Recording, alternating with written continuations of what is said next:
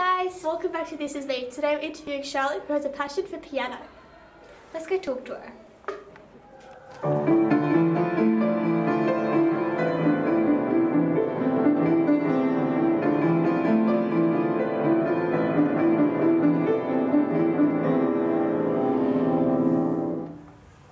How long have you been playing piano and how did you get into it?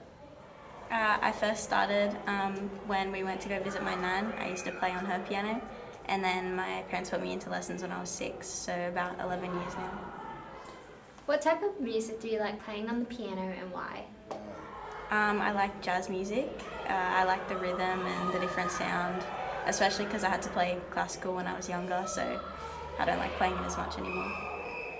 How much time do you dedicate to practicing piano? Um, I play, play piano every day. Um, now I just do like songs that I like and sight reading and stuff, but um, in previous years I did scales, pieces. I had to practice like one, two hours every day. Why do you love playing the piano? And what does the piano mean to you? Um, it reminds me of my nan. I first started on her piano and it, that's mine now. Um, and hopefully it's something that I can take with me. It's a good creative outlet. and- What's next for Charlotte?